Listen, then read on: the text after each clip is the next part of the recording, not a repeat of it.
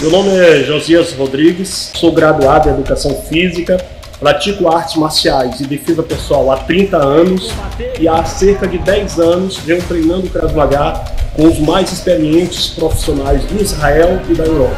O Grupo Brasil Krav Fighter não é mais uma federação de Krav Maga, é um grupo de estudos e pesquisas sobre o Krav Maga não tradicional, o Krav Maga moderno e evolutivo um Krav Maga simples, lógico e conectado com a realidade brasileira. Nós temos uma equipe altamente treinada e qualificada em várias artes marciais. A KM Red é um grupo internacional de lutadores que ensinam lutadores. Não somos Krav Maga tradicional, nós somos lutadores formando lutadores que sabem defesa pessoal.